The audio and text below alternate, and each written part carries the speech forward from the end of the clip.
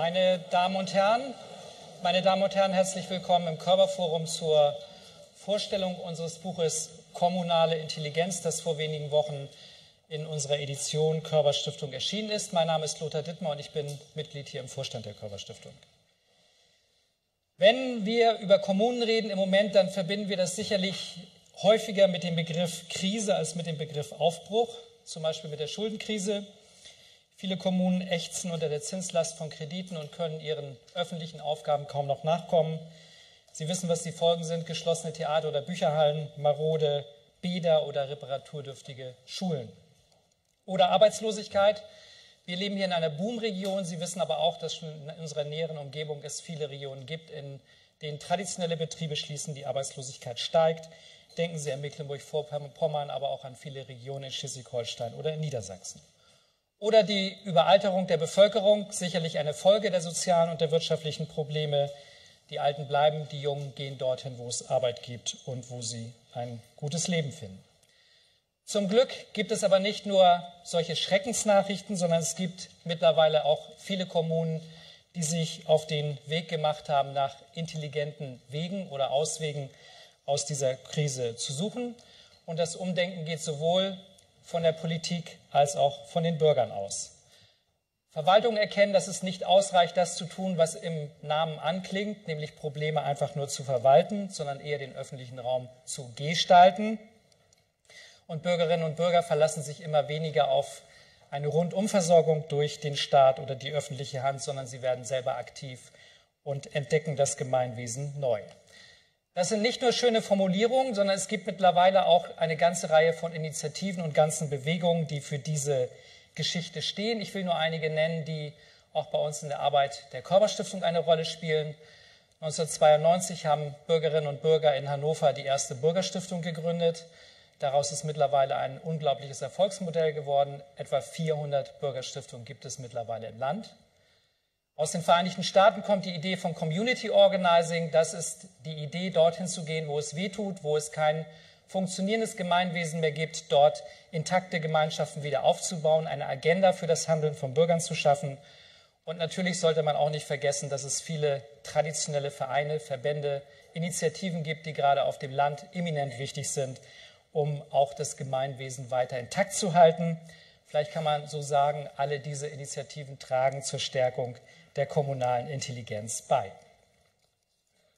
Es sind allerdings eher die Vorläufer oder die Keimzellen für das, was Gerald Hüther in einer, ich würde es nennen, Vision vorschwebt. Wir müssen Grundlegendes verändern, sagt er, und er möchte dazu beitragen, als Brückenbauer zwischen wissenschaftlichen Erkenntnissen und der gesellschaftlichen Praxis zu wirken. Und wie man von einem Hirnforscher nicht anders erwarten kann, sagt er, Veränderung beginnt im Kopf.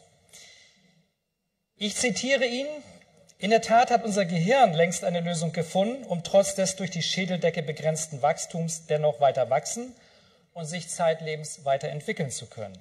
Nicht durch Vermehrung der Anzahl an Nervenzellen, sondern durch Intensivierung, Ausweitung und Verbesserung ihrer Verknüpfungen, also durch fortwährende Optimierung der Beziehung zwischen den Nervenzellen. Was heißt das übertragen auf das heutige Thema der Kommunen? Will nicht alles schon vorwegnehmen, aber vielleicht auch dazu noch ein kleines Zitat. Es heißt natürlich Weiterentwicklung und Entfaltung der in einer Gemeinschaft angelegten Potenziale. Und jetzt zitiere ich noch einmal kurz Gerald Hüther, aber nicht nur durch mehr Einwohner, mehr Gewerbetreibende, mehr Kinder oder gar mehr Geld, sondern durch eine bessere Art des Umgangs miteinander, durch intensivere, einander unterstützende, einander einladende, ermutigende und inspirierende Beziehungen aller in einer Gemeinde oder einer Stadt liebender Bürger. Zitat Ende. Wie bekommen wir solche neuen Gemeinschaften in der Kommune hin? Wie werden aus Kommunen lernende und lebende oder lebendige Einheiten? Und wie sieht eine solche neue Beziehungskultur ganz praktisch aus? Das sind Fragen, die nicht nur Sie haben, die habe auch ich. Ich bin gespannt auf dieses Gespräch. Darüber sprechen heute Gerald Hüther und Holger Nolze. Gerald Hüther ist Professor für Neurobiologie und leitet die Zentralstelle für neurobiologische Präventionsforschung der Psychiatrischen Klinik der Universität Göttingen und des Instituts für Public Health der Universität Mannheim-Heidelberg. Er schreibt außerdem Sachbücher, viele an der Zahl mittlerweile, hält Vorträge, organisiert Kongresse arbeitet als Berater für Politik und Wirtschaft. Er ist Mitherausgeber wissenschaftlicher Zeitschriften und das würde ich gerne noch erwähnen, weil ich weiß, dass ihm das Thema am Herzen liegt. Mitbegründer des Netzwerkes für Erziehung und Bildung, wo es um die Frage geht, wie wir eigentlich eine Alternative zu den heutigen Lernmodellen in unserem Bildungssystem schaffen können. Er spricht mit Holger Nolze. Holger Nolze ist Professor für Musik und Medien an der Technischen Universität Dortmund, wo er den Studiengang Medienjournalismus aufbaut oder aufgebaut hat, bin ich mir jetzt nicht ganz sicher. Er ist außer ist da, genau, wird, wird schon betreut, der Studiengang. Er ist zudem Musikjournalist, er schreibt für diverse Printmedien, hat eigene, eine eigene Gesprächsreihe beim WDR Fernsehen und last but not least ist er auch Autor in unserer Edition Körperstiftung. Ich freue mich auf das Gespräch, das vor uns liegt und bevor es jetzt beginnt, darf ich Ihnen noch sagen, dass wie immer nach unseren Veranstaltungen wir Sie noch zu einem kleinen Empfang einladen. Herzlichen Dank.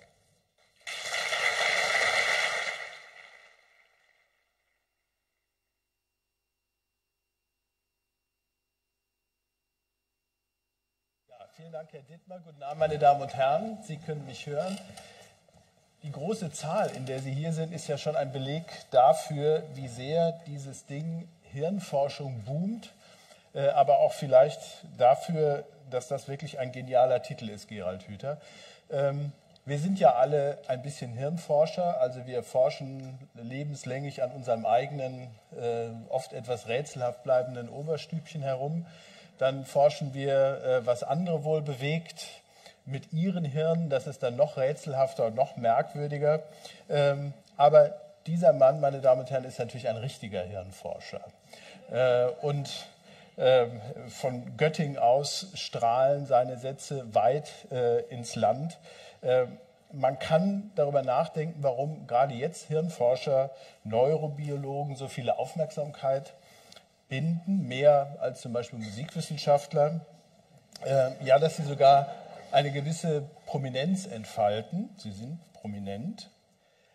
Es liegt wahrscheinlich einerseits an der Explosion des Wissens äh, in diesem Feld. Wir können heute Vorgänge sehen durch die bildgebenden Verfahren, so viel weiß sogar ich, die bis dahin also ein mythisches Dunkel waren. Äh, und dahinter ist ein großes Versprechen. Wir könnten verstehen, kapieren, wie wir ticken, was wir tun, was wir äh, anders tun sollten und warum vielleicht auch so viel schief läuft. Äh, das ist auch umstritten, vielleicht kommen wir gleich noch drauf. Also was darf die Hirnforschung? Ich bin auch sofort soweit.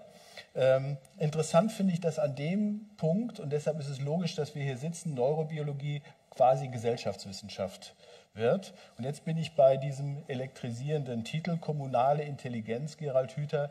Das ist ja äh, ein Widerspruch in sich. Springbrunnen in der Wüste. Also ich komme aus Köln und ich sehe sozusagen täglich kommunale Nichtintelligenz. Und nun kommen Sie von der Seite. Ja, man muss sich ja nicht ständig an dem orientieren, was ungünstig läuft. Und äh, das ist eigentlich das Interessante an dem Gebiet, aus dem ich da komme, aus dieser Hirnforschung, dass äh, mithilfe dieser Wissenschaft, also einer Naturwissenschaft, plötzlich deutlich wird, da geht noch was.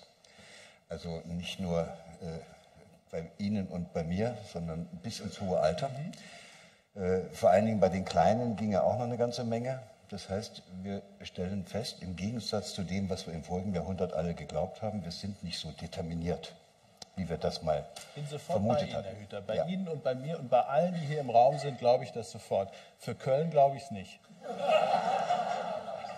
Lange ja. Erfahrung. Ja, das ist, das ist ja genau das Problem, dass man äh, auf dem Weg äh, der Erkenntnis unterwegs stecken bleiben kann. Als mhm. Einzelner, ja. aber auch als ganze Stadt. So, und was, was diese Hirnforschung jetzt zeigt, das haben Sie ja äh, so wunderschön auch eben nochmal zitiert, da geht Weiterentwicklung bis ins hohe Alter. Bis ins hohe Alter könnte man nochmal neue Vernetzungen da oben aufbauen. Mhm. Und äh, es steckt eigentlich in jedem von uns deutlich mehr drin, als das, was jetzt im Augenblick hier so sitzt. Also man hätte ja, ja, Das, aber das wissen Sie ja, es hängt doch, das, der, der Sie heute oder diejenigen, die Sie heute geworden sind, das sind Sie deshalb geworden, weil Sie im Laufe Ihres Lebens bestimmte Erfahrungen gemacht haben, in dieser Familie groß geworden sind, nicht in einer anderen, in, hier in Hamburg und nicht in München und, nicht in Köln. Äh, und, und, und hier in Deutschland, in diesem Kulturkreis und nicht im mhm. amazonischen Regenwald oder was. Und überall wären Sie anders geworden, hätten auch ein anderes Gehirn gekriegt. So, das ist die wunderbare Erkenntnis. Und aus der leitet man zwangsläufig ab, so wie ich nun gerade geworden bin. In diesem konkreten Lebenslauf bin ich eine Kümmerversion dessen, was aus mir hätte werden können. Das ist erstmal tröstlich und bedeutet, da ginge noch was. Und so wie das Hirn sozusagen sich zeitlebens noch erweitern könnte, indem neue Vernetzungen entstehen, und das, so kann man das jetzt auch auf Köln übertragen. Also ja, weil, weil das ist vielleicht auch was Interessantes, dass wir zunehmend, je mehr wir verstehen, wie das Hirn funktioniert, desto mehr begreifen wir auch, dass das Hirn eigentlich organisiert ist wie ein soziales System. In, in, in Köln oder in jedem anderen sozialen System gibt es Einwohner und die haben bestimmte Beziehungen zueinander. Im Hirn gibt es Nervenzellen, die haben auch bestimmte Beziehungen zueinander. Und wir haben eben schon gehört, im Buch steht es auch, es kommt nicht darauf an, wie viele Einwohner das sind, sondern wie gut die Beziehungen sind. Und wenn die in Köln nun aus irgendwelchen Gründen besonders schlecht geworden sind, dann müssen sie sich fragen, was sie in Köln falsch gemacht haben. Ja, die sind natürlich ganz toll. Da gibt es den Karneval und dann äh, explodiert sowieso alles. Wir wollen aber gar nicht über Köln reden. Aber an dem Punkt lasse ich Sie ja so schnell gar nicht durch. Also Sie sind ein renommierter Hirnforscher. Sie wissen ganz viel von dem, was da oben passiert, zwischen Frontallappen und den anderen Orten, die es da so gibt. Ähm, so, aber das, über kommunale Prozesse zu reden, ist ja doch was anderes. Ich bin jetzt mal ein bisschen strenger. Und geht das überhaupt, das eine auf das andere zu übertragen oder ist es einfach nur eine super Metapher? Es ist sofort einleuchtend. Ich habe sofort so dieses euphorische Gefühl einer Übersicht. Ich kapiere was. Ja klar, eigentlich ist es ein lernfähiges System. Fantastisch, man könnte etwas tun. Meine Depression, wenn ich das morgens wieder durch diese Baustellen, diese rot-weißen Absperrgitter gehen muss, äh, hat sofort, ich fühle mich sofort ein bisschen entlastet. Also nochmal gefragt, ist es nicht eine allzu verführerische Metapher? Und wo können wir das jetzt dingfest machen? Diese Übertragung vom Hirn zur Kommune. Ich finde das keine allzu verführerische Metapher. Sie haben, Im Hirn haben Sie einzelne Individuen in Form von Nervenzellen, die haben Verbindungen zu anderen in Form von, von Fortsätzen und sogenannten Synapsen. Das sind die Stellen, wo wir uns im Augenblick gerade begegnen. Und dann gibt es im Hirn die Möglichkeit, das, was der eine weiß, an den anderen weiterzugeben. Das, nennt man, das machen die mit Chemie, mit sogenannten Transmittern. Wir machen das mit Worten. Das ganze System im Hirn, äh, das haben wir eben auch erst jetzt im in den letzten 20 Jahren so ein bisschen gelernt, organisiert sich selbst. Also diese Beziehung zwischen den Nervenzellen ist keiner da, der die festlegt, der liebe Gott nicht und auch die genetischen Programme nicht, sondern die organisieren sich selbst. Und da sind wir praktisch bei den Merkmalen von jedem sozialen System. Es organisiert sich selbst, die Beziehungen organisieren sich selbst.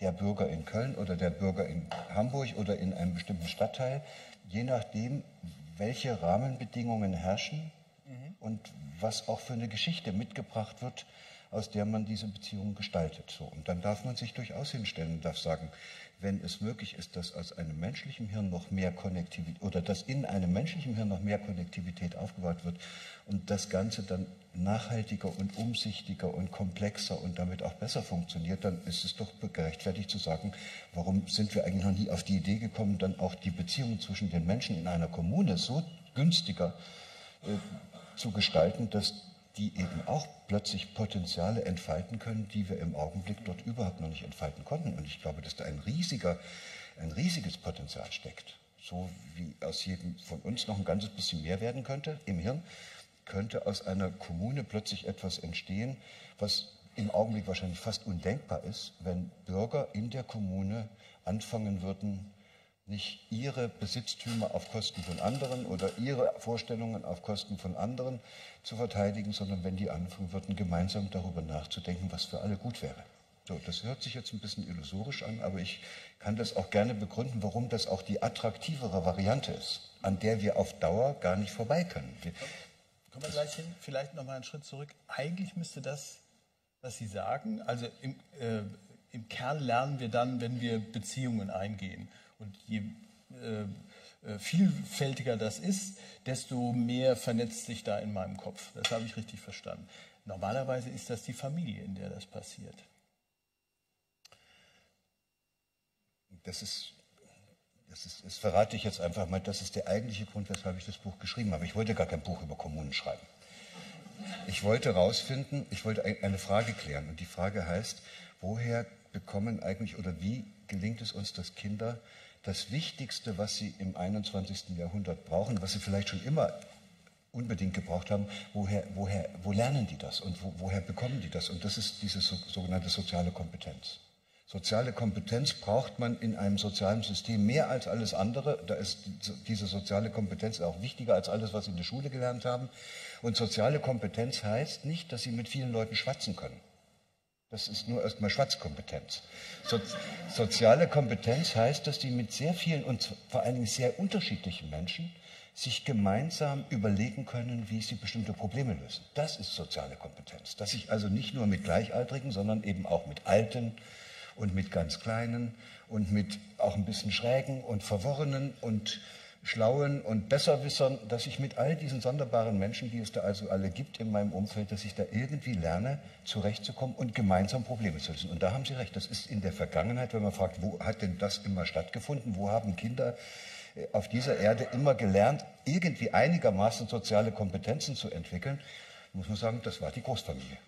Immer so. Seit der Steinzeit oder seitdem es Menschen gibt, war diese Familie oder die Sippe sozusagen der Knetteig oder die Spielwiese, in, den, in der die Kinder diese wichtigen sozialen Kompetenzen erwerben konnten. Viele Kinder, genug Verrückte sozusagen zusammen, um ja, daran zu lernen. Ja, mhm. sicherlich sind auch manche Familien äh, ungünstig gewesen und da war das Ganze auch transgenerational sehr schräg. Mhm. Das kann auch sein, aber irgendwie haben sie wenigstens die wichtigsten Kompetenzen mit in die, ins Leben rausgebracht. Und jetzt sind diese, diese Großfamilien weg. Die kriegen wir auch nicht mehr wieder. Also ich erinnere mich noch, hat den Urgroßvater, der hat den Ersten Weltkrieg mitgebracht, der hat immer gesagt, Jung, und hat immer vom Ersten Weltkrieg erzählt und hat gesagt, und ich wollte immer weg. Und er sagte, Junge, du bleibst jetzt hier sitzen, ich muss dir das erzählen, sonst ist gar keiner mehr da, der es weiß, wie das furchtbar ist im Krieg. Und dann bin ich da sitzen geblieben, habe mir das angehört. Wunderbar. Fanden Sie das gut? Ja, damals? das fand ich. Oder ist jetzt? Nein, ich fand es auch damals wichtig. Ich fand es wichtig, dass ich, dass ich den verstehe. Mhm.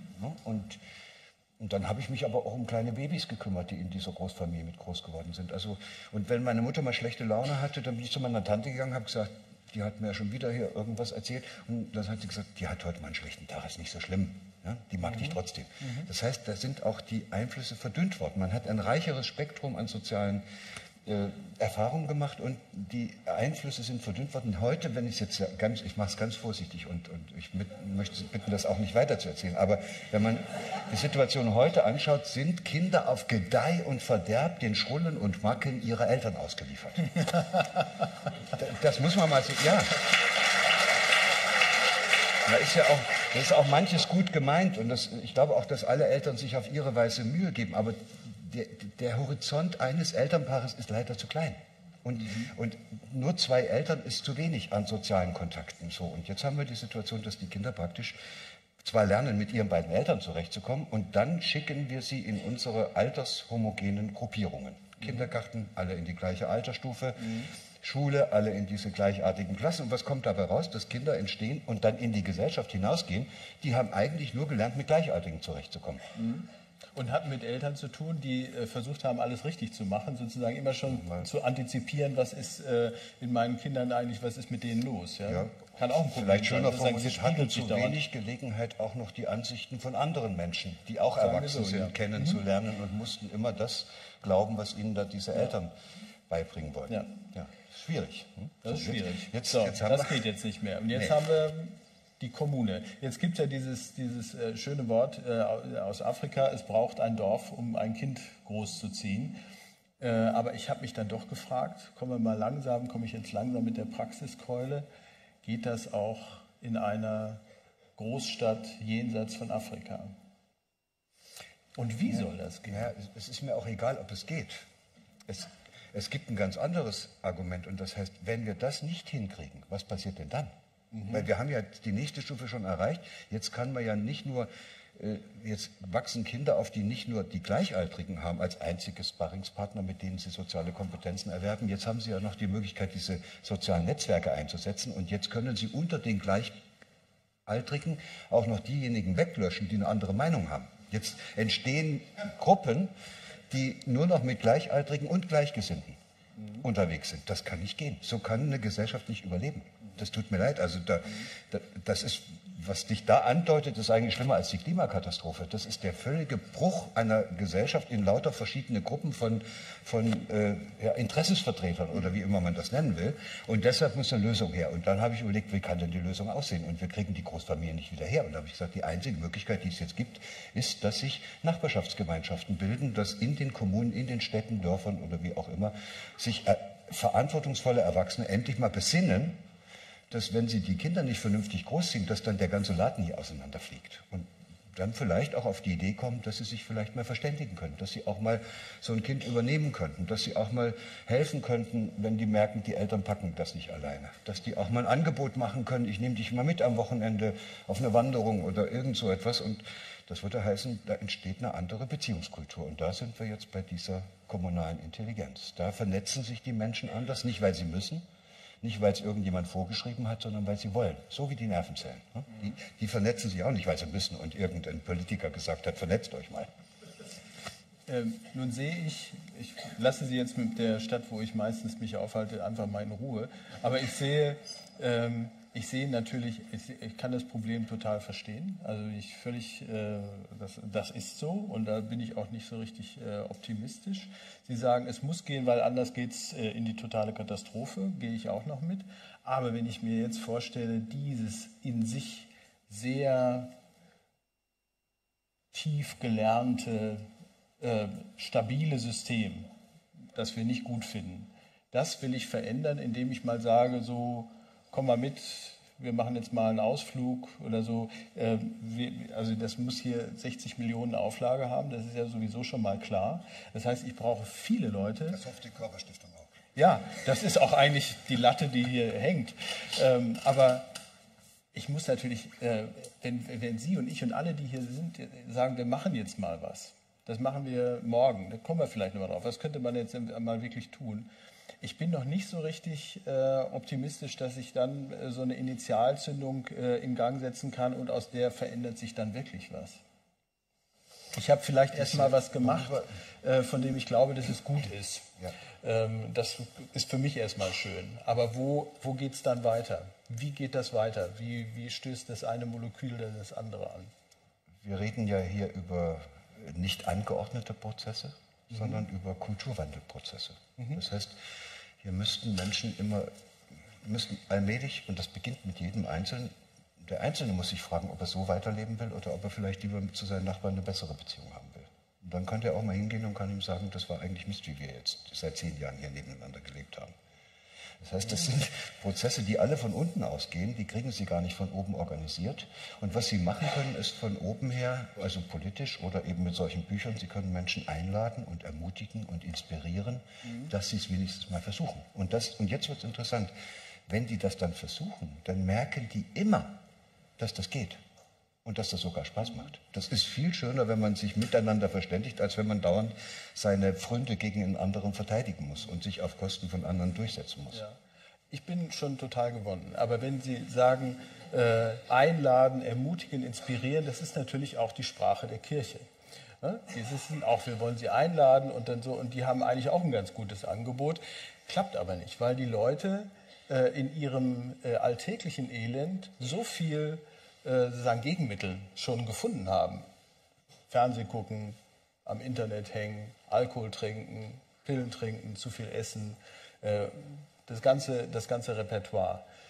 Dass ich mich frage, wie kriege ich die jetzt, ich frage mich das ja auch, also das ist ein etwas anderer Punkt, wie kriege ich die von der Couch runter? Also ich kann sagen, ja, da ist was dahinter, das, da, du wirst sehen, das ist ganz toll. Und also ähm, aber allein die mal von der Couch wegzubewegen, damit sie eine positive Erfahrung machen, aus der dann etwas anderes folgen könnte, schwierig. Das mag schon schwierig sein und trotzdem geht es nicht anders. Das ändert sich im Hirn nicht dadurch irgendetwas. Da entsteht auch keine neue Verschaltung, indem Sie den Leuten jetzt irgendwas einzureden versuchen. Die können sich auch Mühe geben, das wird auch nichts. Das Einzige, was dazu führt, dass sich im Hirn was ändert, ist, wenn Sie plötzlich eine Erfahrung machen und Sie merken, wow, das macht Spaß. So, das heißt, Sie müssten so eine Couch Potato so ein Exemplar müssten Sie vielleicht mal in eine Situation bringen, wo der doch Lust kriegt mitzumachen. Vielleicht machen Sie mal unten, wenn Sie in so einem äh, größeren Wohnblock wohnen, machen Sie doch mal unten so einen Tisch hin und ein bisschen ein paar Stühle rum und kochen Sie mal was und klingeln Sie überall und sagen Sie, ich habe hier ein Essen gekocht, kommt doch mal runter. Das kann sein, dass so einer sogar runterkommt. Und dann könnte es sogar sein, dass dem das da unten gefällt. Und dann sage ich voraus, und da bin ich mir absolut sicher, es ist immer attraktiver, mit lebendigen Menschen in eine beglückende Beziehung zu kommen, als dass man vor irgendeinem Gerät sitzt, was einem irgendwas vorspielt.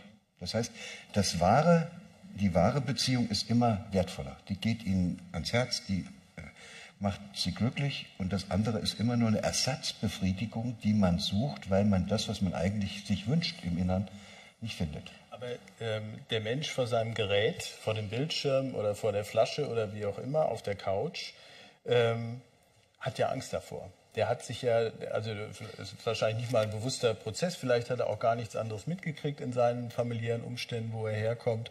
Aber das ist ja doch schon eine, eine Abschottung, genau vor dem, vor dem äh, kleinen, netten Grillabend äh, auf dem Hof.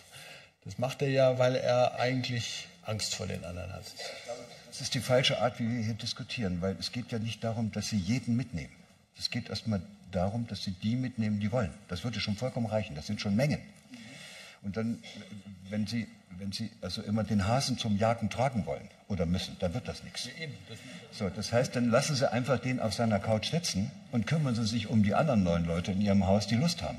Und wenn da unten richtig der Bär losgeht und Sie da tanzen, da guckt er schon hinter der Gardine und fragt sich, ob es nicht vielleicht besser wäre, das nächste Mal mitzukommen. Ne? Also Sie müssen attraktive attraktive Zusammenkünfte, Begegnungen ist eigentlich mhm. das richtige Wort, nicht Beziehung, Begegnung. Sie müssen Begegnungsorte schaffen, wo Menschen plötzlich etwas zustande bringen, was fast nicht denkbar ist. Manchmal erlebt man, vielleicht war sogar auf dem Kirchentag hier oder da so eine Stelle, wo man gedacht hat, wow, was ist denn das? Mhm. Da sind sich Menschen begegnet, dann wird das auf einmal anziehend, dann bleiben andere stehen und man merkt, wie es denen in den Füßen zuckt, weil die würden jetzt gerne mit reingehen. So, und da brauchen sie nur noch den Kreis aufzumachen und dann kommen die. Also wir müssen dort anfangen, wo, die, wo diejenigen sind, die verstanden haben mhm. oder die Lust darauf haben, äh, aus diesen alten Mustern, die ja auch nur Gewohnheitsmuster sind, wie wir bisher miteinander umgegangen sind, herauszugehen und es nochmal anders zu versuchen. Hilft uns die Krise? Ich glaube das nicht. Gefühl, also hirntechnisch, ja. hirntechnisch, also das ist immer so schnell dahergesagt, es muss alles noch schlimmer werden, damit sich die Menschen ändern. Das, also wenn es wirklich ernst wird und die Krise wirklich das wäre, was sie, was eine Krise ist, dann ist es gefährlich. So, und wenn es gefährlich wird im Hirn, muss das Hirn schnell eine Lösung finden. Und die, die, die Lösung, die dann gefunden wird, ist niemals eine kreative. Da müssen Sie ja sozusagen nach oben Panik, denken. Ja. Sondern dann greifen Sie zurück auf die alten Muster. Mhm. Da sagen Sie, jetzt ist gefährlich, jetzt mache ich so, wie ich es immer gemacht habe, wenn es gefährlich war. Und dann fällt man im Hirn, ich sage das immer, wie im Fahrstuhl geht das von oben nach unten runter.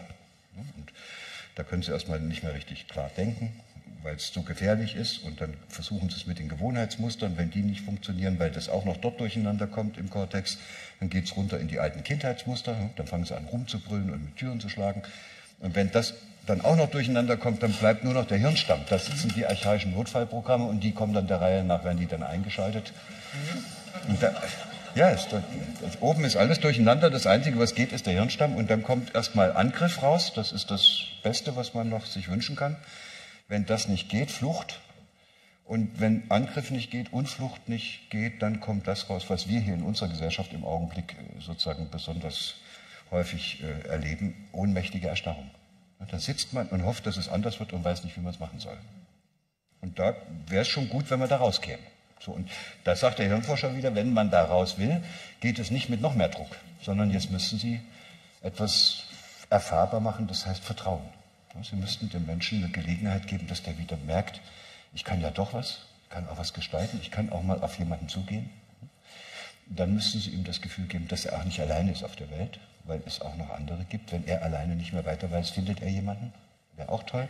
Und das Dritte ist genauso wichtig, dass man, wenn es alleine nicht geht und mit den anderen nicht wenigstens das Gefühl hat, dass man in dieser Welt, also auch in dieser Kommune, auf irgendeine Art und Weise gehalten ist.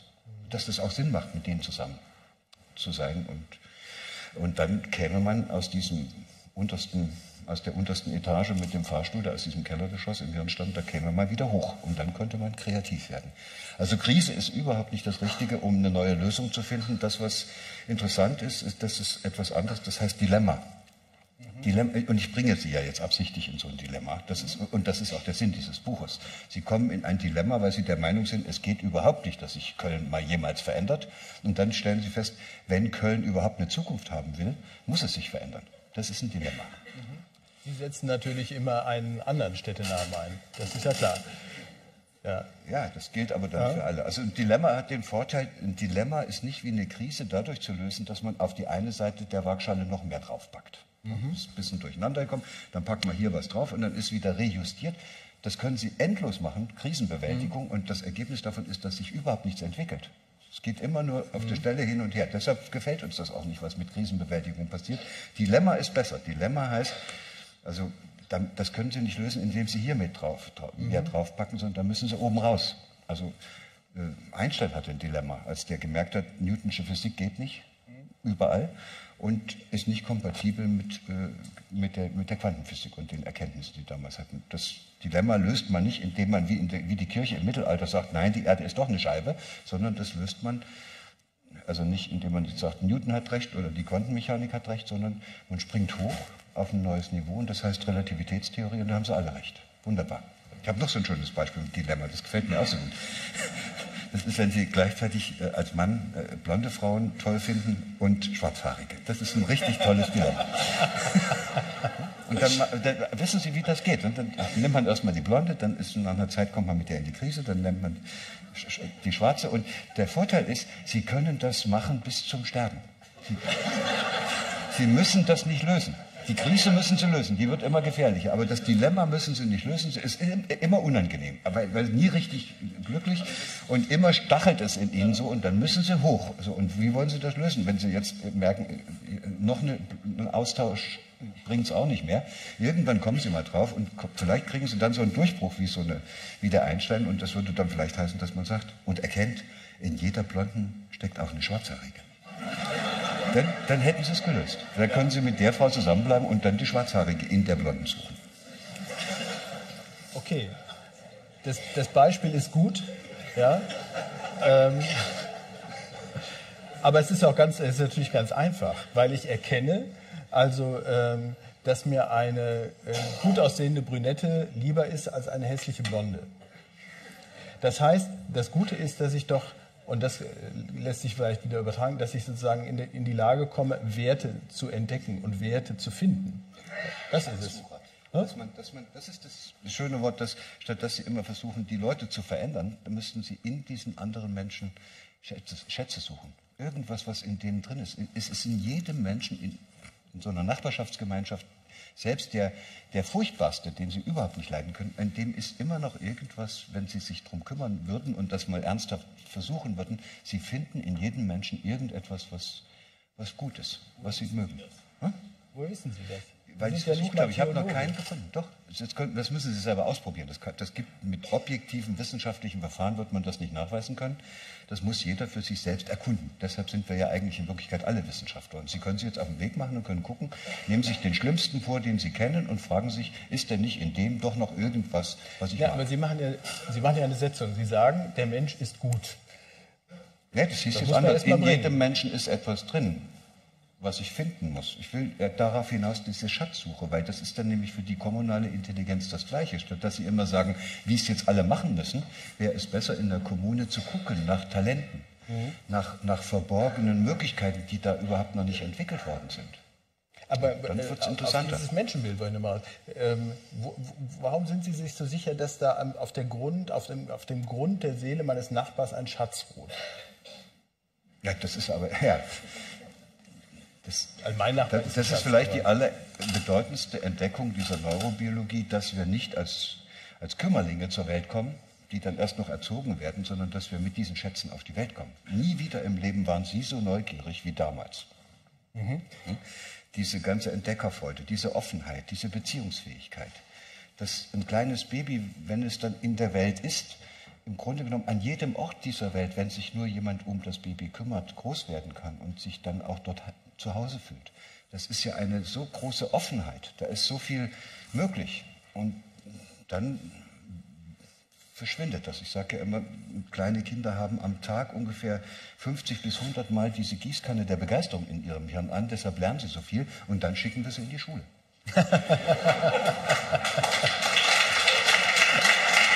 und, und, da, da, und, da, merken Sie, was wir mit diesem Schatz machen. Ne? Mhm. In, indem wir Ihnen versuchen, was beizubringen, machen wir das genau kaputt, was Sie in sich haben. Mhm. Indem wir sie in unsere Vorstellung hineinpressen, rauben wir ihnen die Fantasie, wie sie selber machen können. Indem wir mit Förderprogrammen über sie herziehen und ihnen alles Mögliche beibringen, rauben wir ihnen die letzte Zeit, die sie überhaupt noch haben, um selbstständig und frei mal spielerisch die Welt entdecken zu können. Und gar keine Zeit mehr dafür. Kinder mit vier Jahren fragen am Tag 400 Fragen. Wie soll man das denn machen, wenn man von einer Förderveranstaltung zur nächsten muss? Mhm. Mhm. Also auf Schule müssen wir natürlich gleich noch kommen. Das ist ja, da steckt ja noch was Richtiges drin. Äh, aber äh, ich sehe ja gerade mit Entsetzen, dass Sie auch nicht an Förderprogramme glauben. Also wenn wir jetzt, das wäre jetzt, wir sitzen in einer Stiftung. Ne, Herr Dittmar hat gefragt, wie soll es denn jetzt gehen? Äh, was machen wir jetzt damit? Gute Ideen, kann man eigentlich kaum was gegen sagen. Ich weiß nicht, was so Theologen, was die alles noch sagen. Aber äh, lassen wir das. Wir nehmen das so, ich bin total einverstanden. Jetzt legen wir aber ein Programm auf. Und das äh, Bundesministerium für, äh, äh, für Forschung und Wissenschaft legt auch noch mal ein bisschen Geld raus. Ähm, und, und wir investieren Geld da rein, dass im Rahmen der Kommune Erfahrungen gemacht werden können, die Synapsendünger sind, total. So. Das ist aber auch nicht der richtige Weg. Wenn Sie so haben wir es ja gelernt, wollen, dass wir, wir, wir haben ein Problem, wir wollen es lösen, wir, wir Geld in die Hand, ja. genau, Bertelsmann Stiftung oder irgendwas, nehmen wir Geld in die Hand, schaffen ein Modell, pumpen das richtig voll und dann sollen alle ja. sehen, wie es geht mhm. und anschließend wird der Geldhahn wieder abgedreht und dann fällt das Ding irgendwie ein Kartenhaus in sich zusammen. Das ist wie die Entwicklungshilfe im folgenden Jahrhundert in der dritten Welt und dann schaffen wir da irgendwas hin und wenn wir wieder abziehen, bricht alles in sich zusammen. Das heißt, so dürfen Förderungsinstrumente nicht eingesetzt werden. Das haben aber jetzt inzwischen ja vor allen Dingen die Körperstiftung schon längst verstanden. Was sie brauchen, ist, sie brauchen mit Hilfe von, von, von Mitteln, die zur Verfügung gestellt werden, vor allem in solchen Bereichen, wo sich die Verwaltungsorgane dieses Landes und die staatlichen Institutionen nicht engagieren. Dort könnten Sie mit Mitteln, die zur Verfügung gestellt werden, Erfahrungsräume gestalten, in denen das, was Sie sich wünschen, auch wirklich passieren kann. Gibt es, gibt es einen, einen Bereich, der nicht schon Gegenstand von äh, Programmen ist? Äh, Programme haben einen riesen Nachteil. Da, da, ja? Das, glaube ich, haben die Stiftungen inzwischen auch verstanden. Programme haben den Nachteil, dass sie immer festschreiben müssen, was das Ziel des Programmes sein Klar. muss. So, also äh, nach zwei Jahren sollen sie dort und dort sein. Damit kriegen sie eine Zielorientiertheit in ihr Programm und sie müssen das dann hinten auch wissenschaftlich oder sonst wie statistisch evaluieren, dass das auch rausgekommen ist.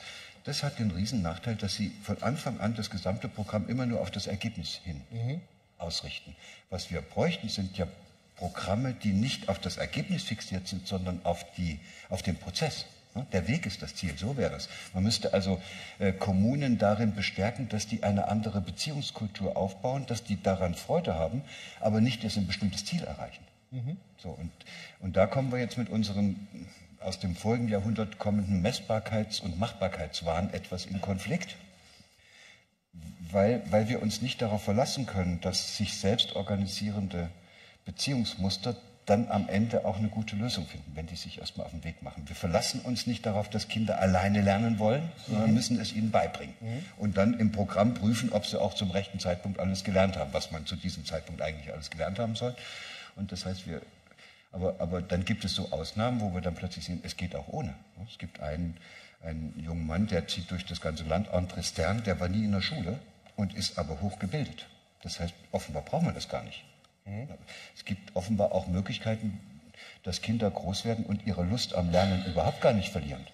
Es, es scheint auch so zu sein, dass Kinder wohl offenbar überhaupt nichts Lieberes tun, als zu lernen. Aber Nur das nicht können, da, wo sie sollen. Ja, können Sie sich dort mit Freude engagieren, wo Ihnen jemand sagt, was Sie machen sollen? Das geht ja gar nicht. Also wir, wir, setzen unsere Kinder Bedingungen aus, die ungünstig sind. Und was ich dann sage, ist, man müsste ihnen Erfahrungen ermöglichen, wo sie erleben, wie toll das ist, wenn man in einer Kommune zum Beispiel mit anderen Kindern gemeinsam, und zwar in altersgemischten Kohorten,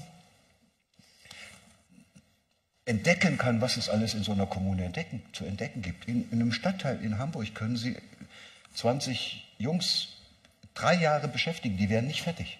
Wenn die wirklich jeden Hausflur und jeden Dachkammer und jeden Keller dort entdecken Aber dürfen. wie kriege ich die jetzt zusammen, wenn ich nicht Programm mache? Wenn ich nicht sage, irgendwie äh, im Rahmen des äh, Projekts XY finden wir 20 Jugendliche, die sich jetzt auf den Weg machen und die Stadt explorieren und dabei wahnsinnige Erfahrungen machen, Beziehungen, ist, ja, äh, Begegnungen haben und so weiter. Wie, wie kriege ich, wie schubse ich das an? Also ein Beispiel sind diese Mehrgenerationenhäuser. Das finde ich eine sehr interessante Geschichte. Das sagt die Regierung, wir geben euch ein bisschen Geld, damit ihr in eurer Kommune ein Haus errichtet. Und die einzige Vorbedingung, die wir haben, ist, es muss ein Haus sein, wo sich Menschen begegnen. Was ihr da drin macht, ob ihr da ein Unternehmen macht oder dieses oder jenes, das ist euer Ding. Das ist richtig. Man gibt nicht das Ergebnis vor, sondern man zeigt einen Weg, man schafft einen Raum, in dem sich Menschen begegnen können. In Thüringen haben wir so ein Modell, das heißt neue Lernkultur in Kommunen.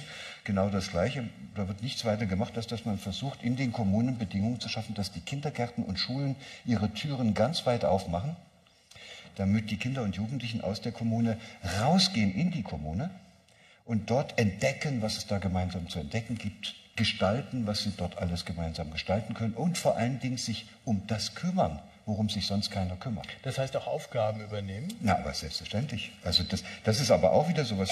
Wir glauben, dass man den Kindern Aufgaben übertragen muss. Die haben keinen größeren Wunsch, als endlich wichtig zu sein und bedeutsam zu sein, indem sie Aufgaben übernehmen. Indem wir denen alles abnehmen, berauben wir sie ja der Chance zu erleben, wie toll das ist, wenn man eine Aufgabe zu Ende bra- gebracht hat. Das, also hier ist nicht nur in den Kommunen mangelt es sozusagen an Intelligenz, sondern auch in unseren Erziehungssystemen, die wir im Augenblick haben, in unserem Bildungssystem. Aber das ist ein anderes Buch. Aber das ist nur wirklich ganz, weil das wäre ja ganz einfach. Warum machen wir das nicht? Weil wir immer Angst haben, dass die das falsch machen, dass sie unter, unter das Auto kommen. Nein, weil wir aus einer Welt kommen, es, ist ja auch, es wird ja immer die Geschichte mitgeschleppt. Also Eltern geben ihre Erfahrungen weiter und alte Schulsysteme und mit ihren Lehrern geben die Erfahrungen weiter. Und selbst in den Universitäten ist es so, dass immer erst dann ein, ein Durchbruch erfolgen kann, wenn die Alten weggestorben sind. Und, und deshalb hat man so, hängt man zum Teil an, an Mustern, wie man so vorgeht und was man so für richtig hält, die längst überlebt sind. Und in diesem Fall ist es eben so im folgenden Jahrhundert, das war das Jahrhundert des Maschinenzeitalters oder des Industriezeitalters und diese ganze wissenschaftlich-technische Revolution, die da stattgefunden hat, einschließlich Mondlandung, hätten wir nicht hingekriegt, wenn wir nicht in diesem Jahrhundert darauf geachtet hätten, dass wir die Menschen, die da hineinwachsen, äh, unter, also dass die, dass, dass die gut funktionieren. Also äh, im letzten Jahrhundert, da kann jeder sagen, was er will, sind Menschen gebraucht worden, die funktionierten, möglichst genauso gut wie die Maschinen. Und deshalb haben wir Schulen, in denen sozusagen bis heute in einer gewissen Weise, ich sage es ja nicht so gerne, aber da ist immer noch eine Abrichtungs- und Dressurmentalität dahinter. Da wird mit Hilfe von Belohnung und Bestrafung versucht, ein bestimmtes Ergebnis zu erzielen. Das ist Dressur, da können Sie in den Zirkus gehen, da wird das auch gemacht. So, aber im letzten Jahrhundert war das okay, da hat man das auch gebraucht. Und jetzt hat sich aber die Welt geändert. Jetzt braucht man keine Leute mehr, die brave Pflichterfüller sind und die gut funktionieren. Jetzt braucht man auf einmal Gestalter, die, die gemeinsam mit anderen in der Lage sind, Probleme zu lösen, die wir uns heute noch gar nicht vorstellen können. Und dann finde ich aber, wird es höchste Zeit, dass wir unseren Kindern auch Gelegenheit geben, zu solchen Gestaltern zu werden. Und diese Erfahrung zu machen, wie schön das ist, wenn man nicht alleine gegen andere, sondern mit anderen gemeinsam sich auf den Weg macht, um was zu gestalten. Herr Hüter, wie kommen Sie auf das schmale Brett, dass Sie glauben, dass Sie jetzt mit 125 Seiten und dem, was Sie hier sagen, dieses Ding Schule sozusagen einfach mal aus den Angeln heben können? Da denken doch seit und nicht erst seit dem 19. Jahrhundert irgendwie ich weiß nicht, wie viele Professoren, Erziehungswissenschaftler, Pädagogen denken darüber nach, wie man es richtig macht. Und das waren ja nicht alles nur Dompteure und äh, Zirkusdirektoren, sondern da gibt es ja irgendwie einen Haufen auch sicher guter Ideen. Und ich frage mich, wie kann das eigentlich sein, dass dieses System Schule so total, wie Sie es jetzt gerade dargestellt haben, versagt? Äh, und immer noch und immer noch weiter und dass sich das als offenbar komplett nicht reformierbar erweist, wenn das stimmt. Ja, Sie haben einen zu großen Glauben in, in dahin, dass, dass man, wenn man es besser weiß, man es auch anders macht. wenn eine Gesellschaft eben viele Pflichterfüller braucht, dann können Sie hundertmal mit reformpädagogischen Ansätzen 1920 die besten Schulen machen. Solche Leute werden nicht gebraucht. Stellen Sie mal vor, 1920 hätten wir überall solche wunderbaren reformpädagogischen Montessori oder sonst wie Schulen gehabt. Da wären aus diesen Schulen ja Kinder herausgekommen, die hätten, wenn man gesagt hätte, da drüben steht der Feind, dann hätten die gesagt, wieso steht da der Feind? Die hätten dann auch mal gesagt, wenn man denen erzählt hätte, hier gibt es eine bestimmte ja. Bevölkerungsgruppe, die ist nicht lebenswert, die hätten gesagt, wie kommt er denn auf so eine blöde Idee? Mhm. Die hätten auch das Gas nach Auschwitz nicht reingeworfen. Die wären auch nicht in den Krieg gezogen. So, also es hat man im letzten Jahrhundert eben alles gebraucht, oder jedenfalls gab es äh, gab es Kräfte, die gemeint haben, dass man das braucht. Und da waren solche Schulen wie die Reformschulen in den 20er Jahren völlig unbrauchbar. Aber ist nicht gerade die Resistenz dieses Systems Schule ein starkes Argument für eine gewisse Skepsis, was jetzt die Reformierbarkeit von Kommunen angeht? Aber nur noch mal zu diesem Punkt. Im, im, Im, letzten Jahrhundert war das vielleicht auch notwendig, dass man es so gemacht hat, sonst wäre man vielleicht von anderen überrannt worden. Ja so, und jetzt haben wir einen neuen, in einem neuen Jahrhundert und jetzt ist das, was im vorigen Jahrhundert notwendig war, auf einmal nicht mehr notwendig. Jetzt mhm. brauchen wir was anderes. Mhm. Und währenddessen es vielleicht im letzten Jahrhundert auch notwendig war, dass man lauter Einzelkämpfer hochgezogen hat. Oder vor allen Dingen nach dem Krieg. Das ist ja diese Phase, wo, wo die Autonomie und die Egozentrik sich so ausgeprägt hat, dass der Einzelne sich selbst immer nur noch definiert über das, was er mehr kann und mehr hat und besser weiß als andere. Vielleicht mussten wir durch so eine Phase durchgehen. Auch das kann ja sein, dass die Gesellschaft sowas gebraucht hat. Solche Klugscheißer und Besserwisser und alles können. Und, und, und erst wenn, und, und das und, vielleicht braucht man so eine Phase, damit wir uns alle gegenseitig beweisen, indem wir uns in diese Einzelkämpfermentalitäten hineinjagen, in der, in der wir uns gegenseitig beweisen, wozu der einzelne Mensch im Guten wie im Bösen in der Lage ist. So, die Zeit ist vorbei. Die Zeit der Einzelkämpfer ist auf dieser Erde im Grunde genommen längst vorbei. Und jetzt müssten wir was anderes lernen. Jetzt werden wir auf dieser Erde nur noch überleben können, indem wir diese Art von Vereinzelung überwinden. Und das, ich bin ja Biologe und gucke das in viel größeren Dimensionen an. Wenn das mit irgendwas vergleichbar ist, dann ist das vergleichbar mit dem Übergang von den Einzellern zum Vielzeller. Das war auch ein schwieriger Übergang. Die wären auch lieber alleine geblieben.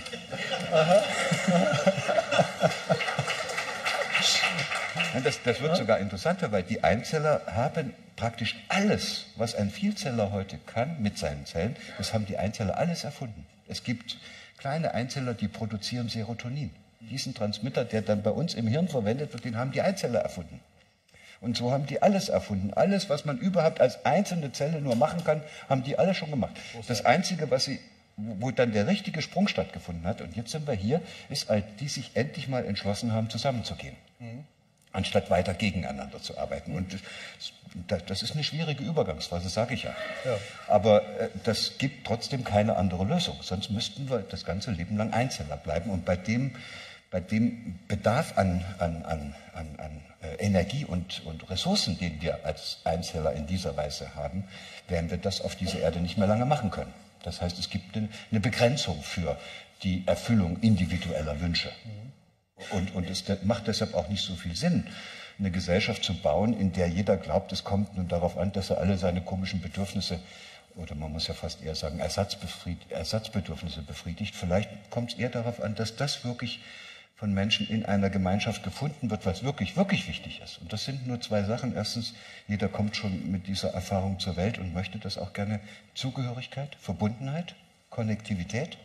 Und das Zweite ist, jeder möchte auch einzigartig sein, möchte als einzigartiger gesehen werden, möchte autonom werden und, und auch frei.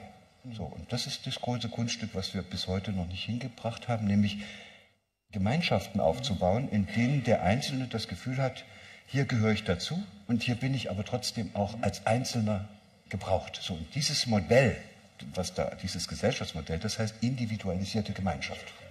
Das ist schön, weil da kommt es auf jeden an, aber jeder weiß auch, alleine sind wir nichts. Aber da gibt es dann, jetzt gehe ich doch, mal, doch noch mal zur äh, Kommune, es gibt das Rathaus, es gibt die Verwaltung, es gibt äh, Dezernate und Unterabteilungen und so weiter. Und die haben jetzt gelernt, äh, Individuen hin und her. Wir brauchen aber Musterfälle und wir können, wir haben Formulare und äh, da, da, muss es eben so und so gehen. Und äh, damit kriegen wir auch die Welt in den Griff. Sie sind kein Freund der Verwaltung. Ich bin aus dieser damaligen äh, DDR abgehauen weil ich es nicht aushalten kann, wenn Menschen vorgeschrieben wird, was sie zu tun haben. Ich mhm. bin ein Freund der Emanzipation. Ich würde mir wünschen, dass jeder einzelne Mensch so verantwortlich mit seinem Leben umgehen kann, dass der nicht von anderen verwaltet werden muss. Das, die Verwaltung von Menschen ist immer ein Akt, in dem man den Menschen zum Objekt macht. Also Verwaltung ist per se schlecht. Es gibt keine gute Verwaltung. Wir müssen uns sicherlich Strukturen überlegen, wie wir das machen, aber die müssen so durchlässig sein, dass jeder sozusagen nicht verwaltet wird, sondern Mitgestalter dieses Verwaltungsaktes wird. Und das geht wieder in diesen individualisierten Gemeinschaften. Die hatten wir aber bisher nicht. Was wir bisher hatten, ist sowas ähnliches wie eine Herde, wo es einen Anführer gab und der hat den anderen gesagt, wo sie alle hin müssen. Und dafür hat er einen schönen, oben, der hieß König, dieser Anführer, und der hat einen schönen Verwaltungsapparat gebaut. Und der preußische Staat ist nichts weiter als so eine hierarchische Verwaltungspyramide, wo die Leute zu Objekten gemacht worden sind wo sie am Ende nur noch so den Raum hatten, der ihnen da von dem Verwaltungsapparat zur Verfügung gestellt worden ist. Und wir haben uns davon noch nicht gelöst. Kürzlich kriegte ich einen Anruf aus Österreich. Da gab es so einen Kindergarten und auf dem Kindergarten wuchs ein Baum, der war so schön schräg. Und da sind die Kinder immer drauf rumgeklettert. Und da habe ich gesagt, toll, also wenn Kinder wenigstens noch einen Baum haben, auf dem sie klettern können, super. Und dann ist da ein Kind runtergefallen von dem Baum, hat sich in die Hand gebrochen oder irgendwas. Der Vater war Rechtsanwalt. Wissen Sie, was jetzt ist? Der Baum ist gefällt. Abgesägt. Ja. Mhm. Abgesägt. Weil es gibt sozusagen die, die juristische Behandlung des Problems ist wichtiger als die Erhaltung dieses Spielraumes für die Kinder. Mhm. Und dass ein Kind meinetwegen auch mal vom Baum fallen muss und sich auch eine, eine, was brechen kann, das ist doch okay. Also wir haben mehr Angst vor dieser Verletzung und versuchen die Kinder davor zu schützen. Das ist aber gleichbedeutend und ähnlich in der Strategie wie jemand, der möchte, dass Kinder laufen lernen, ohne dass sie hinfallen. Also erst dadurch, dass ich falle, kann ich mich auch wieder aufrichten. Das bringt mich jetzt noch auf einen äh, Aspekt, also ähm, das habe ich mich gefragt, als ich es gelesen habe, die, die, das Bild der Familie zeigen, einer kleinen Gemeinschaft, wo ich aber äh, vielfältige Beziehungserfahrungen machen kann. Und Sie sprechen immer vom, vom günstigen Erfahrungen und ungünstigen Erfahrungen. Ich möchte natürlich immer ungünstige, äh, günstige Erfahrungen machen, aber wir sehen doch auch, dass gerade ungünstige Erfahrungen vom Baum fallen, prekäre Verhältnisse, oft sozusagen kompensatorisch, ich weiß nicht, was da im Hirn passiert, aber dazu führt, dass ich etwas ganz Besonderes auspräge. Vom Baum fallen ist keine ungünstige Erfahrung. Ach. Ne, da lernt man ja was. Also es sei denn, man bricht sich das Genick und, und, und bleibt ein ewiger Schaden. Aber ansonsten lernt man damit umzugehen. Auf die heiße Herdplatte zu fassen, ist keine ungünstige Erfahrung. Was Sie sich da in Wirklichkeit ja merken, ist, dass Sie ein toller Typ gewesen sind, weil Sie das schnell genug gemerkt haben und die Hand wieder weggenommen haben. Okay. Das heißt, wir lernen immer nur die Lösung. Mhm. Und, und das ist auch hirntechnisch richtig. Was sollen wir denn uns dauernd im Hirn das merken, was schiefgegangen mhm. ist? Das Hirn merkt sich das, wie es richtig war. Ja. Aber es gibt manche Lösungen, die wir finden, die sich dann auf lange Sicht nicht so ja. günstig okay. Nun haben Sie vorhin von Ihrer Geschichte erzählt. Also der Opa hat vom Krieg erzählt und Sie haben das kleine Baby noch äh, gewickelt. Das scheint mir, da hat das trotz DDR, es war gut. Ja? Ähm, aber was ist mit, mit wirklich prekären Verhältnissen? Mutter trinkt, Vater liegt den ganzen Tag auf dem Sofa. Auf Gedeih und, so. und Verderb überlassen wir diese Kinder ihren schwierigen Eltern. Äh, aber es gibt doch auch die Geschichten, wo jemand auf einmal aus solchen Verhältnissen ein großartiger Schriftsteller wird oder ein toller Musiker. Das gibt's doch. Ja, das dürfte doch eigentlich gar nicht sein. Es, und dann erzähle ich Ihnen ein ja? Beispiel dafür, ja. damit Sie es mal verstehen, was das, dann, was das dann wirklich für uns bedeuten würde, wenn wir das ernst nehmen würden. Ja, ich, hab, ich saß irgendwann mal im Zug von Frankfurt nach Zürich und habe ein Manuskript, also so eine, so eine Druckfahne gelesen von einem Buch, das heißt Kinder brauchen Wurzeln. Geht es um diese festen Bindungen und das, was einem so wichtig ist. Und dann habe ich das gelesen, da kam da so einer rein, so ein Mann in, in Frankfurt Flughafen, setzte sich dahin und schielte da immer so rüber und habe ich gesagt, ich, das ist eine Druckfahne von einem Buch. Ah, worüber denn? Ich sage, über die Bindung, über die, wie wichtig das ist, dass Kinder eine richtig gute Bindung haben, dass es ihnen richtig gut geht in dieser Bindung. Und nur dann habe ich ihn, und dann kennen Sie mich ja, muss ich da eine lange Rede halten, nur dann entwickelt sich das Hirn richtig. Da sagt er, da bin ich ein tolles Beispiel jetzt für Sie. Meine Mutter ist während der Schwangerschaft, also nach der Geburt psychotisch geworden. Die konnte sich nicht mehr um mich kümmern. Da hat es eine Tante versucht, die ist nicht mit mir zurechtgekommen, da hat es auch nicht geklappt. Dann war ich noch bei einer weiteren Tante, die konnte es auch nicht, und dann bin ich ins Kinderheim gekommen.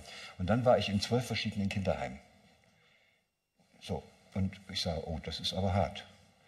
Sagt er, ja, und jetzt komme ich gerade aus New York, ich bin Rechtsanwalt und habe eine Kanzlei gegründet und die also New York, Zürich, Frankfurt und jetzt komme ich, bin ich auf dem Weg zurück nach Zürich.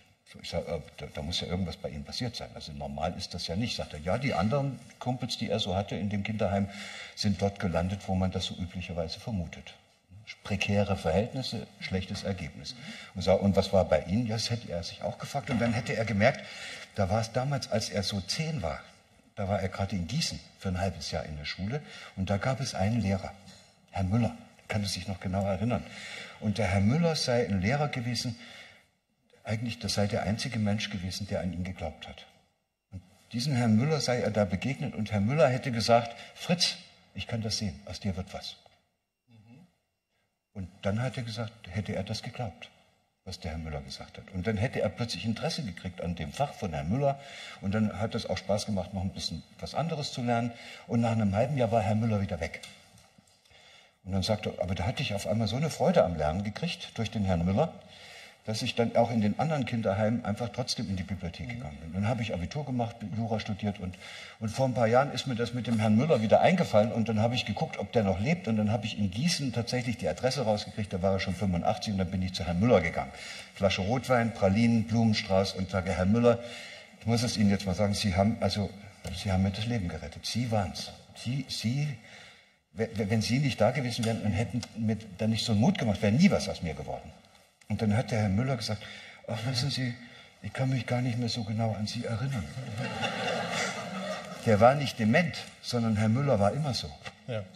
ja. So, und das ist es. Und das ist, jeder von uns in jeder Kommune hat jeder Bürger die Möglichkeit, so einem Kind so eine Tür zu öffnen. Man muss es nur wollen. Und Herr Müller hat das eben gewollt. Er hat das mit allen gemacht. Und bei manchen hat das unglaublich gefruchtet und bei anderen hätte vielleicht eine Frau Schulze kommen müssen, weil Herr Müller hat's da, hat nicht so gut gepasst. So, aber wenn jetzt viele da sind, die die Tür so bereit sind aufzuhalten, dann findet jedes Kind in der Kommune irgendjemanden, bei dem er sich oder das als Junge oder als Mädchen, wo die sich wohlfühlen, wo die sich gestärkt fühlen, wo die spüren, hier glaubt einer an mich. Und hier, hier traut mir einer auch was zu. Aber in, in, in dieser Verlassenheit mit einem Elternpaar, sorry, ist mhm. zu wenig. Mhm. Das, da können hundertmal die Eltern dran glauben, dass aus dem Kind was wird. Ähm, auch eine gute Geschichte. Dann würde, ich, dann würde ich jetzt wieder mit meinem mechanistischen Weltbild sagen, wir müssen jetzt aber doch gucken, dass wir mehr, mehr Herr Müllers und Frau Schulzes ins System reinkriegen. Ja, deshalb schreibe ich ja solche Bücher und deshalb sitze ich ja hier. Sie können jetzt alle, wie Sie hier nach Hause gehen, können sich ja überlegen, ab morgen kann jeder von Ihnen anders auf andere Menschen zugehen, mhm. eben wie Herr Müller. Mhm. Kann einfach, statt dass Sie da sagen, Sie dumme Kuh, sagen Sie mal, das gefällt mir eigentlich, wie Sie mich hier so angucken. War da was? Ich habe Sie gar nicht im Blick hier. ähm, also, ich habe hier 10 Milliarden von der Körperstiftung. Das ist so ein die sollte halb, ich eigentlich halb, Halbjahresetat. Nein, aber ich gebe Ihnen die. Also, ähm, aber ich habe das Gefühl, nach dem, was Sie gesagt haben, nach dem, was Sie geschrieben haben, Sie wollen die gar nicht. Nee, 10 Milliarden brauche ich nicht. Aber es wäre schön, wenn wir zum Beispiel ein bisschen Geld hätten, um solche Menschen auszubilden. Ich nenne die immer Potenzialentfaltungscoaches die in so eine Kommune reingehen oder in so einen Stadtteil. PECs. Und dann ein bisschen, ja, die, aber die, die dort sozusagen wieder welche suchen, die wie Herr Müller sind. Mhm. Und dann diese Personen, die es da überall gibt, die sind ja da. Die trauen sich nur nicht. Oder die haben, es ist keiner da, der ihnen hilft. Und da braucht man ein kleines bisschen Arrangement und dann passiert es auf einmal. Und das kostet nicht so viel Geld. Und dann kann einer, der das einfach gut beherrscht, der bringt das dann in diesem Stadtteil fertig und dann ruft schon der andere Stadtteil, wir wollen den auch. Das ist so wie Kochen. Da fängt einer an zu kochen und auf einmal wollen sie alle kochen. Was machen Sie denn? Also Sie schreiben die Bücher, die kann man verteilen, die kann man lesen und dann kann in den Köpfen was passieren, sozusagen die Kochbücher. Ich bin mit Ihnen im Rat für kulturelle Bildung. Das ist auch wichtig, ja. Weil gucken wir mal, was selbst die da rauskommt. Kultusministerkonferenz gemerkt hat, dass es nicht sein kann und dass es auch nicht ausreicht, was die Kinder in der Schule so an Sachwissen Mhm. äh, sich aneignen können, sondern dass man in einer Gesellschaft nicht auf diese kulturelle Bildung verzichten Mhm. kann. Finde ich großartig, dass da sowas passiert. Muss auch ein bisschen Geld dafür bereitgestellt werden. Und dann kann man auch öffentlich machen, dass kulturelle Bildung nicht funktioniert durch das Auswendiglernen von Kultur, ne? sondern da braucht man Theater, da muss man was spielen können, da muss man tanzen können, da muss man singen können. Erfahrungen machen. Erfahrungen machen. Und zwar auch solche Erfahrungen, wie schön das ist, ne? wenn man gemeinsam mit anderen ein Theaterstück auf die Bühne bringt oder ein Chor oder ein Konzert macht. Das heißt, wir haben ja ganz viele solche Möglichkeiten, die wir in der Schule einsetzen können, damit aus unseren Kindern nicht egozentrische Alleinunterhalter werden, sondern dass Kinder eben in der Schule spüren, wie toll das ist, wenn man gemeinsam mit anderen was hinkriegt, was man alleine in drei Teufelsnamen niemals kann. Und solche Menschen, die so eine Erfahrung gemacht haben, die könnten dann auch andere kommunale Kulturen entwickeln. Die werden dann, wenn die das erstmal verinnerlicht haben, dann werden die auch in ihrer Nachbarschaftsgemeinschaft nicht die Tür zumachen, sondern die Tür aufmachen und gucken, ob man nicht mit den Nachbarn was gemeinsam zustande bringen kann. Das ist eine Art von Vorgartengestaltung, oder? Also ich mache, ich sozusagen, ich gestalte meinen, meinen, kleinen, äh, meinen kleinen Umweltbereich. Sie können ja jetzt, ist ja wieder Frühling, gehen Sie doch mal durch die Vorgärtensiedlungen durch, also da, wo die ganzen Einfamilienhäuser sind. Und da finden Sie welche, da, also ich sage das, man, man, man kann sozusagen anhand des Vorgartens erkennen, was da für einer drin wohnt. Ja, Und zwar im Sinne von Herrn Müller nicht die Technik, mit der er unterwegs ist, sondern die Haltung. Ja, da gibt es welche, die haben alles einbetoniert, da traut man sich schon gar nicht hin. Ja, aber dann gibt es auch Vorgärten, die, die, da sehen Sie Vorgärten, da fühlen Sie sich richtig angezogen. Da hätten Sie richtig Lust reinzugehen und zu sagen, Mensch, das finde ich toll, was Sie hier für einen Garten gemacht haben. Und wenn Sie das dann wirklich mal täten, wissen Sie, was dann passiert? Dass, dass da jemand rauskommt und sagt, das finde ich toll, dass Sie das mir sagen, weil so wollte ich das auch. Und dann machen sie eine Erfahrung miteinander. Und dann passiert etwas, und das ist das Bezaubernde, dann, das ist keine Beziehung, das ist eine Begegnung. Ja, und wir dürften eigentlich gar nicht mehr reden über Beziehung. Beziehung ist auch, wenn ich Ihnen eine feuere. Ja, weil wir nehmen auch immer die falschen Worte. Beziehung ist ein neutrales Wort, das sagt gar nicht, was für eine Beziehung. Wir müssen doch die Qualität der Beziehung definieren, die wir haben. Und es gibt nur eine Qualität, die richtig im Sinne von, von Verbundenheit und Potenzialentfaltung wäre, und das ist die Begegnung. Ja? Nicht das Treffen, sondern die Begegnung. Und da, da steckt auch in dem Wort drin, was da drin stecken kann, dass da zwei ihre unterschiedlichen, in unterschiedlichen Welten gemachten Erfahrungen zusammenführen und austauschen. Und das ist Wachstum. Alles andere ist nur ja, Verteidigung von Besitzständen. Da, da braucht man sich nicht zu begegnen. Wenn man Besitzstände bewahren will, braucht man sich nicht zu begegnen. Im Gegenteil, da muss man dauernd einen Gartenzaun rumbauen, damit keiner reinläuft. Der Zaun war es, das habe ich mir schon gedacht. Aber ich erzähle Ihnen meine, meine Lieblings-Hamburg-Geschichte. Ihnen habe ich sie vorhin schon erzählt, aber Ihnen habe ich sie noch nicht erzählt. Äh, Das war nämlich eine mit einem muffigen Taxifahrer. Und ich bin schon ein bisschen empfindlich. Also wie man so miteinander umgeht. Und der war so muffig hier am Hauptbahnhof. Und ich musste eigentlich dringend weg, dass ich gesagt habe, also der, ich wollte einsteigen, dann hat er die Zigarette so weggefeuert. Und irgendwie, äh, es war wirklich nicht schön. Und dann habe ich gesagt, ach, wenn Sie, Sie wollen gar nicht fahren, wir lassen es lieber. Und dann äh, stand ich also ab. Jetzt war aber meine Not, den Termin einhalten zu wollen. Und es kam keiner hinter mir. Also er stand weiter mit seinem Taxi da und ich stand daneben und brauchte ein Taxi. Er war aber der Erste in der Reihe. Und dann habe ich so ein bisschen, dann habe ich mich überwunden. Vielleicht dieser Impuls war wichtig. Dann habe gesagt, okay, wir versuchen das jetzt miteinander. Und dann habe ich mit ihm ein, ein äh, 20-minütiges Gespräch gehabt über Muffigkeit, über die Gestaltung des Vorgartens und ähm, also über seine Biografie, die war natürlich äh, kompliziert und die war eigentlich auch ein bisschen traurig. Aber man hatte, ich, äh, er hatte das Gefühl, man hörte ihm zu. Und als ich ausgestiegen bin, sagte er, das war ein gutes Gespräch. Sagt der Taxifahrer. Und das ist also eine natürlich bin ich da jetzt der Held in der Geschichte, aber äh, das war noch bevor ich, bevor ich. Man darf doch Held sein. Man darf auch mal Held sein. Nee, aber ich glaube, das ist wirklich so. Also auch diese Panzerung von schlechter Laune, mit der die Leute, die auch sozusagen die Besitzstandswahrer äh, herumlaufen, einfach mal sozusagen äh, sachte zu perforieren. Und äh, da gehört manchmal eine gewisse, äh, eine gewisse Direktheit auch dazu. Und Sie haben das ja auch. Also es neigt sich ja bei uns jetzt so ein bisschen. Und, äh, ich möchte, also gleich komme ich nochmal vielleicht doch nochmal am Ende auf die Praxis-Praxis-Frage, damit Herr Dittmer mich nicht schilt, aber ich habe es schon ein paar Mal versucht, glaube ich.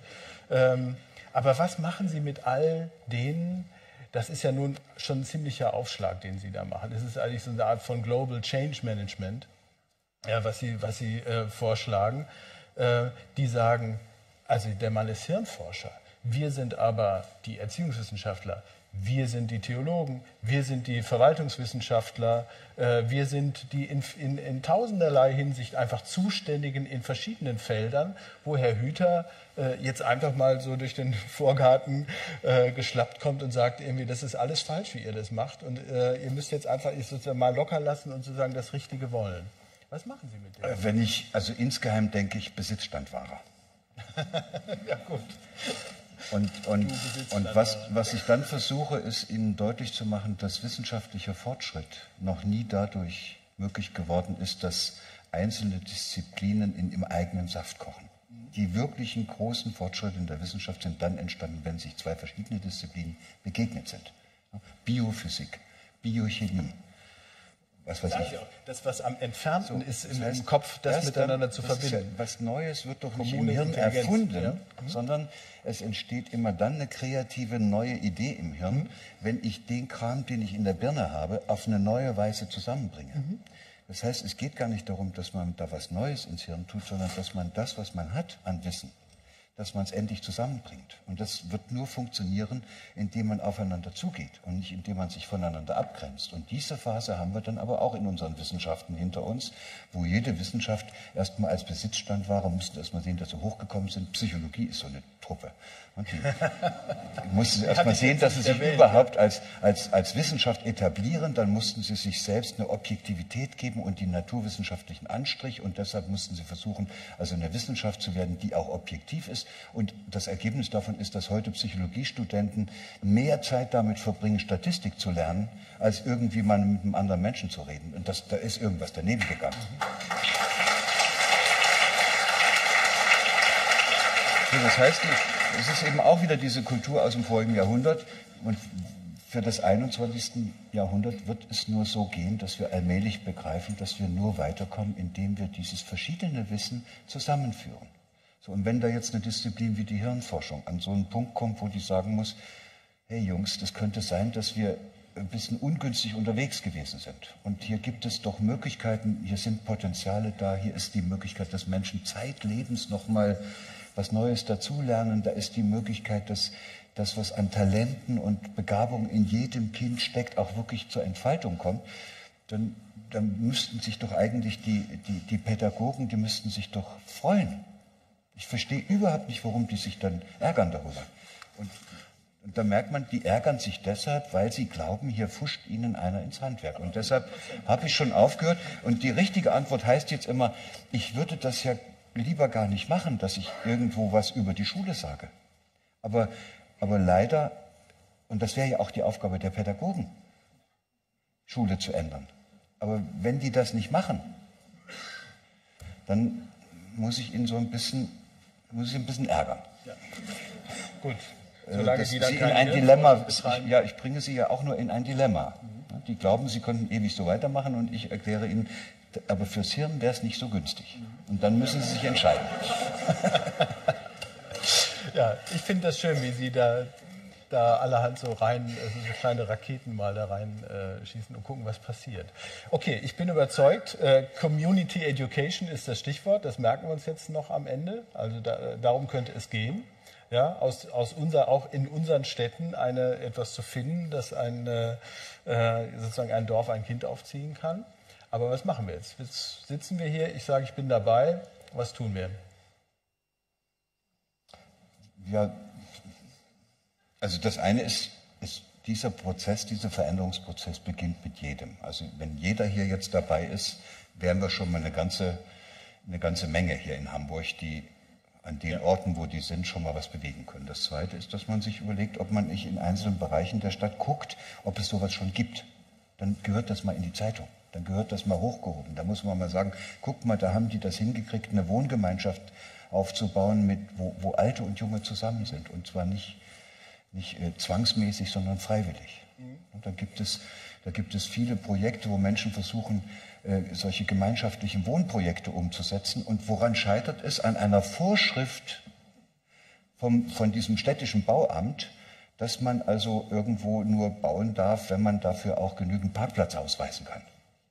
Also da, da, da sind auch hirnrissige Bestimmungen am Werk. Ja, das ist einfach alles ungünstig und da kann man versuchen, das günstiger zu gestalten.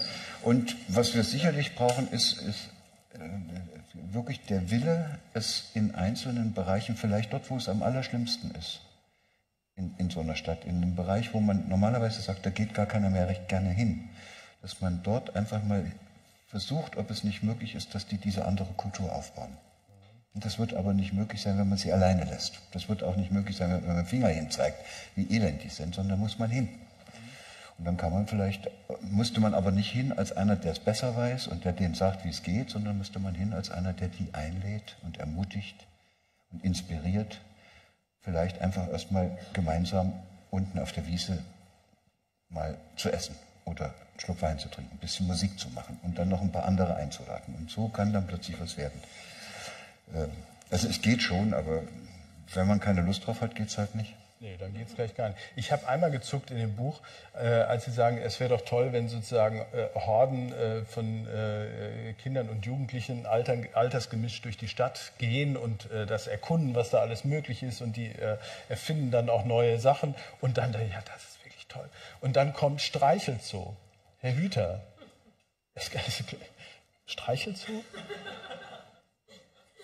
Streichelzoo? Ist, wir haben ja in, in, Thüringen dieses Modellprojekt, hatte ich schon gesagt, neue Lernkultur in Kommunen. Und da geht es darum, dass Kinder eingeladen werden, da draußen irgendwas zu gestalten. So, und da ist in einer Kommune, sind die Kinder auf die Idee gekommen, sie würden gerne einen Streichelzoo bauen. So. Und dann ist die, die Stadt äh, hat ihnen ein Gelände zur Verfügung gestellt, gesagt, da könnt ihr euer, euren Streichelzoo hinbauen. Und dann haben Kinder im Kindergarten Pläne erarbeitet, was, kind, was, was für Tiere da rein sollen. Welche aus der Schule haben berechnet, wie die Häuschen aussehen müssen, die man da bauen muss. Welche aus der Berufsschule haben Kostenkalkulationen gemacht, wie man das Ganze aufsetzen muss, damit das als sich selbst tragendes Unternehmen auch funktioniert. Und dann wurde dieser Streichelzoo realisiert und ist ein Ort geworden, wo Mütter mit ganz kleinen Kindern aus allen verschiedenen Kulturen, die normalerweise immer alle zu, zu Hause sitzen mit ihren Kindern, wo die jetzt gerne in diesen Park gehen, in diesen Streichelzoo, ihren kleinen Eintritt bezahlen und dann sitzen diese Mütter mit ihren Kindern gemeinsam auf der Bank, die normalerweise nie miteinander reden würden, weil die sich ja gar nicht treffen würden. Und die Kinder streicheln gemeinsam diese Ziege und das Schaf. So, das ist Streichelzoo. Das ist eine, das ist eine Begegnungsstätte. Ja? Auch der Streichelzoo kann ein Anfang sein. Ja. Und nur um zu beweisen, dass das, ähm, also wir haben jetzt gesehen, der Streichelzoo ist natürlich doch eine ernste Angelegenheit. Es klang nur so nett. Ähm, äh, hier, hier, sind auch noch andere Tierbilder, die sind ein bisschen heftiger. Und diesen Satz lese ich Ihnen vor, obwohl Sie ihn geschrieben haben, aber Sie haben ihn vielleicht noch nicht gelesen. Hat mir gut gefallen. Die meisten Kommunen sind keine Adlerhorste, in denen die Überflieger und Gestalter der gemeinsamen Zukunft heranwachsen. Sie gleichen eher Hühnerhöfen, in denen jeder froh ist, wenn er ein Korn findet und in denen kaum noch jemand bereit oder in der Lage ist, die Kleinen das Fliegen zu lehren. Ja. Bitte. Herr Hüter, ich danke für das Gespräch. Äh, über die Umsetzung müssen wir noch, denken wir weiter nach. Ähm, Sie sollen die Gelegenheit haben zu fragen. Aber äh, das ist die große Bitte, fragen. Also jetzt nicht, äh, wir haben aber bei uns auch ein Streichelzoo, da war ich mal drin, das war ganz toll. Da sitzen jetzt auch die Kinder an der Kasse. Sondern Sätze, Fragen sind Sätze, die am Ende ein Fragezeichen haben. Vielleicht haben Sie sowas. Lehrer. Hm? Mikro kommt da. Sie, kennen Sie eine... Kommen Sie bitte nach vorne, wir können Sie sonst nicht sehen. Hallo? Ulrich Mertens. Herr Hüter, kennen Sie eine Plattform, wo solche Beispiele versammelt sind, wo man sich Anregungen holen könnte? Äh, ja, also noch nicht so, wie ich sie mir wünschen würde. Dafür würde ich mir die Unterstützung der Körperstiftung noch mal erhoffen. Aber äh, äh, im Rahmen dieser neue Lernkultur äh, in Thüringen es gibt es eine Plattform, die heißt Nelecom, www.nelecombegleitprogramm.de und da findet man lauter solche Beispiele. Eines der schönsten Beispiele ist das äh, Projekt Sprachbotschafter. Nee, nicht Sprachbotschafter, sondern Botschafter der Freundlichkeit. Total was Süßes. Zwei Kindergartenkinder und zwei Schul äh, Grundschulkinder gehen gemeinsam durch die Stadt und suchen nach Menschen, denen es nicht gut geht. Und die haben sich aber vorher in einem Selbststudium die Grundkenntnisse angeeignet, woran man erkennt, dass es einem nicht gut geht und was man machen kann und wie man den ansprechen muss. Und dann haben sie sich gegenseitig auch noch eine Prüfung abgenommen. Und dann haben sie so eine Schärpe gekriegt mit so einem Ding, steht Botschafter der Freundlichkeit Erfurt drauf. So. Und dann sind die unterwegs in der Stadt. Und das, ich sage Ihnen, das ist beeindruckend, wenn da einer mit so einem mürrischen Gesicht rumsteht. Und dann kommen zwei so kleine an und sagen, können wir irgendwas für Sie tun? Sie sehen so drauf. Das ist mein Ding. Das ist mein Ding. Und das Beispiel ist deshalb schön, weil Sie ahnen, da, man kann auch dann die Kinder, und das ist möglicherweise das Geheimrezept, möglicherweise sind die Kinder die Akteure, die wir suchen sollten, um diese neue Kultur in die Kommunen zu bringen. Die haben es ja noch. Die können das noch auf andere zugehen. Und wenn wir denen mehr Möglichkeiten geben, diese besondere Fähigkeit an, in das kommunale Leben einzubringen, dann kann es sein, dass die Kinder das besser können als ein äh, diplomierter, promovierter Sozialarbeiter.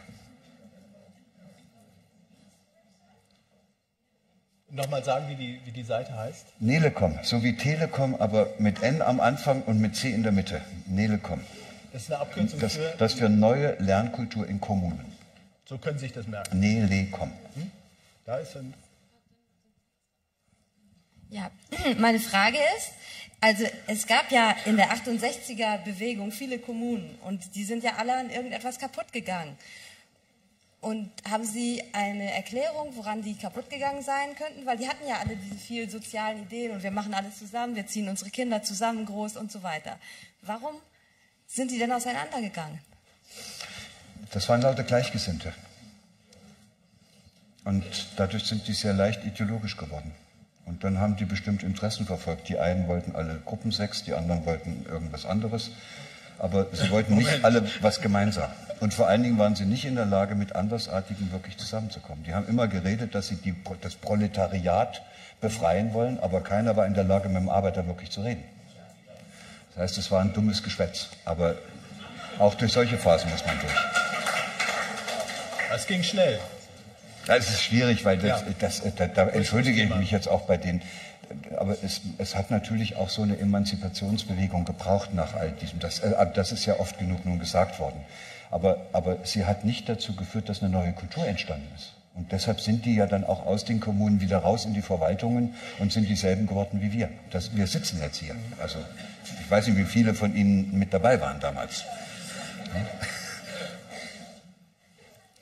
Äh, meine Frage ist, äh, wie können wir es schaffen, dass ähm, motivierte Lehrer, die also voll sind von tollen Ideen, ähm, die auch wirklich umsetzen können gegen die Kultusbürokratie. Es hat eine Lehrerin in Bayern gegeben, äh, die hat es geschafft in der Grundschule, dass keine von den Kindern mehr eine, eine 4 geschrieben hat. Die, die, die schlechteste Note in ihrer Klasse war eine 3. Diese Frau ist versetzt worden. Die hat einen wahnsinnigen Kampf führen müssen. Die hat ein Buch darüber geschrieben. Ich weiß jetzt, ich habe das nicht mehr verfolgt. Aber äh, das ist ja so ein, ein Leuchtbeispiel gewesen. Die hat ihren ganzen Unterricht so aufgebaut, dass sie alle mitgenommen hat. Und eben auch Kindern aus, aus schwierigen Verhältnissen. Und in ihren Klassenarbeiten hat eben keiner mehr eine 4 geschrieben. Und das hat dem Schulleiter nicht gepasst und dem bayerischen Kultusministerium schon, ja, schon gar nicht. Und ähm, das, das ist ja genau dieser Verwaltungskomplex, an dem wir vorhin schon waren. Ähm, da hätte ich gerne mal überlegt, was wir da machen können. Da kann man nur eine Bombe Also ich, platzieren. nee, ich versuche es ganz kurz zu machen. Ich war ja bei Frau Merkel einer der Kernexperten für die Zukunft des Lernens.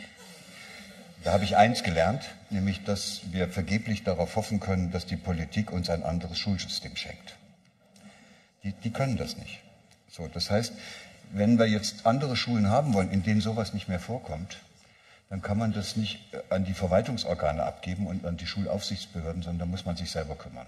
Und dann habe ich mich umgesehen in Deutschland. Es gibt ja einige Schulen in Deutschland, da gehen die Kinder so gerne hin, weil es da so toll ist, dass die weinen, wenn Ferien sind. Da müssen sie mal hingehen und müssen gucken, was ist das Geheimnis dieser Schule. Und das Interessante ist gar nicht der Unterricht. Das Geheimnis ist nicht der Unterricht. Das Geheimnis ist, dass das Schulen sind, in denen es gelungen ist, ein festes Bündnis zwischen Eltern, Lehrern, Schulleitung und Schülern oftmals herzustellen. Das heißt, es ist eine Schule, in der sich jeder auf jeden verlässt und wo die auch richtiges, festes Vertrauen haben. Und die können machen, was sie wollen. Da ist ja gar keiner mehr da, der sich bei der Kultusbehörde beschwert. Die könnten auch mit, die würden sowas auch nicht machen. Was Sie da schreiben, ist, beschreiben, ist ja wieder das Ergebnis eines, eines Prozesses. Ein einzelner Lehrer, der es besser macht als die anderen, wird von den anderen Lehrern gemobbt. Warum? Weil sich die Lehrer überhaupt nicht darüber im Klaren sind, wozu sie überhaupt in der Schule sind. Nicht zum Mobben, und um klug zu scheißen, sondern um den Kindern zu helfen, dass die alle ihre Talente und Begabungen entfalten können. Das ist aber leider denen aus der Erinnerung gefallen. Und da muss man dann ein Bündnis bauen, in dem sich alle Beteiligten wieder einig sind, wozu Schule eigentlich da sein soll. Und da könnten sich doch Eltern, Lehrer, Schulleitung und sogar die Schüler einig sein, dass eine Schule eigentlich dazu da sein sollte, dass dort jedes Kind seine Talente auch wirklich entfalten kann. Und wenn das dann passiert, wird es interessant. Und und deshalb haben wir dann in der Folge dieses Kanzlerdialoges in, und drei dieser Kernexperten haben dann diese Bewegung oder diese Initiative gegründet, die heißt Schule im Aufbruch. Finden Sie auch im Internet, Schule im Aufbruch. Und, und die verfolgt im Grunde genommen ein einziges Ziel, die sagt, eine Transformation ihrer Schulkultur, eine, die Verbesserung ihrer Lern- und Beziehungskultur in der Schule ist möglich. ist ein schwieriger Prozess, ein Kulturwandelprozess. Aber bevor Sie den überhaupt hinkriegen, den kriegen Sie nie hin. Der ist wie eine Bergbesteigung. Und wenn Sie da hoch wollen auf den Berg, dann brauchen Sie unten eine ordentliche Basisstation. Und diese Basisstation heißt Bündnis. Deshalb, bevor irgendeine Schulveränderung stattfindet, machen Sie ein Bündnis. Eltern, Lehrer, Schulleitung, Schüler. Und in in, in, Göttingen gibt es eine Schule, die hat sowas vorgemacht mit so einem Bündnis IGS Göttingen, die hat vor einem Jahr den Schulpreis gekriegt. Und da hatte dann die Landesregierung in Niedersachsen ja beschlossen, wie in vielen anderen auch, dass jetzt das, äh, das Abitur zwölf Jahre dauern soll, nicht mehr 13. Das ist für so eine Gesamtschule ziemlich kompliziert, wenn die plötzlich ein Jahr abschneiden sollen. Und dann haben die Eltern, die Lehrer, die Schulleitung und die Schüler gemeinsam beschlossen, dass in dieser Schule in der 10. Klasse alle sitzen bleiben. Erledigt. Ja? Das ist, das ist Emanzipation. Ja? Das, ist, das, ist, das ist die Selbstverantwortung von Bürgern, die gegen unsinnige Verwaltungsvorschriften dann plötzlich eine Lösung finden. Und die ist so einfach, dass man einfach sagen muss, wow. Aber die geht nur dann, wenn man sich einig ist. Und wovon unser System, weshalb wir so viel Verwaltung brauchen und alles verwalten müssen, hängt damit zusammen, dass wir uns nicht selbst organisieren können. Dass wir uns gar nicht emanzipiert haben. Dass wir eigentlich es Offenbar finden wir das auch toll, dass wir verwaltet werden. Braucht man nämlich nicht so viel Verantwortung zu übernehmen, weder für sich noch für andere. Also das Gegenmittel, habe ich jetzt äh, gelernt, ist eigentlich immer Netzwerkbildung. Ne? Also immer, wenn Sie sagen, ein Bündnis schließen, so, es ist wichtig, dass, dass Leute ins Gespräch kommen über das, was sein soll. Ja, Sie müssen ja. sich, aber ein Netzwerk per se nützt auch noch nicht, man muss auch wissen, wofür man ja, das Netzwerk klar, aufbaut. Schon klar. Und dann eine gewisse äh, revolutionäre Listigkeit. Alle bleiben sitzen, auch nicht schlecht. Das ist kreativ. Hm? Das ist kreativ. Wo sind noch Lehrer, die sagen, ich sehe, ich sehe, Sie sprechen einfach, ja. Ähm, ich, hab, ich bin Lehrerin, ja, und äh, ich bin Herr Müller. Also ich habe wirklich das Gefühl, ein, ähm, ja, so, ein so, eine Schulidee entwickelt zu haben, die, wie haben Sie das eben gesagt, diese Frechheit besitzt. Und wenn wir uns jetzt, wenn es ganz viele Herr Müllers irgendwo gibt, die auch ihre Schulidee schon verwirklichen, und wir befinden uns wirklich an den Übergang vom Einzeller zum Vielzeller, dann ist meine Frage an Herrn Hütter, was raten Sie diesen Herrn Müllers, um das wirklich in diesen Übergang zum Vielzeller zu bringen? Also ich, ich kann es ja nur noch mal sagen, der Übergang beginnt im nächsten Augenblick, wo Sie wieder jemandem begegnen und wo Sie die Chance haben, ihn zurückzustoßen oder ihn anzuziehen. Das heißt, Sie müssen dafür keine neue Schule gründen, sondern Sie könnten auch in der alten Schule, in der Sie sind, könnten Sie anfangen, jeden Augenblick so zu leben, dass Sie das Gefühl haben, als würden Sie hungrige Enten füttern. Dass Sie einfach versuchen, andere anzuziehen, anstatt dass Sie dauernd versuchen, die abzustoßen. Und das Einzige, was ich Ihnen dazu sagen kann, ist einfach, das können Sie nur dann, wenn Sie auch ein bisschen Kraft haben. Also wenn Sie eine Bedürftige sind und wenn Sie sich als Opfer der Verhältnisse erstmal definiert haben und sich dann auch fest damit abgefunden haben, dass doch alles so furchtbar ist und dass man sowieso nichts machen kann, dann geht es nicht mehr. Und das ist das, was ich da versuchen will, in der, in, der, in der Öffentlichkeit herzustellen. Dieses Gefühl, dass was geht. Und dass jeder, jeder an jedem Platz Gestalter ist. Dass es, dass es etwas ganz Ungünstiges ist, wenn wir uns gegenseitig einreden, es geht nichts. Jeder kann an seiner Stelle Gestalter sein. Manchmal bin ich in Führungskräfteseminaren und sage, auch eine Putzfrau ist eine Führungskraft. Und sogar die Klofrau. Und dann gucken die mich blöd an und sagen, wieso soll denn das die Klofrau auch noch eine Führungskraft? Ich sage, wenn die Klofrau zum Beispiel möchte, dass sie nicht so viel Arbeit hat und dass die Männer nicht mehr daneben pinkeln, dann kann sie da große Zettel aufhängen und kann sagen, bitte hinsetzen, so wie das hm, so beim Pinkeln. Oder sie kann auch, wenn sie es noch ein bisschen weiter treibt, kann sie auch so eine Art Stromschlag. kann man dann beliebig ausdehnen, die Art. Das fängt mit einer leichten Drohung an und endet dann mit irgendwas. Ne, das ist die alte Prozedur. Die, die schönere Prozedur wäre, dass die Putzfrau einfach sagt, ich bin doch eigentlich nicht Opfer der daneben pinkelnden Männer, sondern ich bin Gestalter meines Raums. Und dann geht die einfach los und macht den Raum so, dass jeder Mann, der da reinkommt, sagt, wow, für mich Räucherstäbchen, Blumen, schöne Bilder über dem Pissoir. Und dann werden sie ein Wunder erleben, nämlich ein, ein Mann, der in so einen Raum kommt, der für ihn so hergestellt wird, der gibt sich ganz viel Mühe. Das Ergebnis davon ist, sie kriegen ein tolles Klima, die Putzfrau ist toll drauf und sie war der Gestalter. Sie hat sich nicht gewehrt gegen daneben pinkelnde Männer, sondern sie hat, den daneben, die, hat die daneben pinkelnden Männer eingeladen, ermutigt und inspiriert. Eine andere Art zu denken.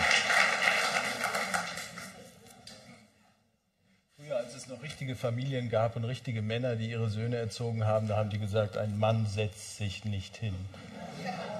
Bin ich bis heute noch der Überzeugung, dass das richtig ist.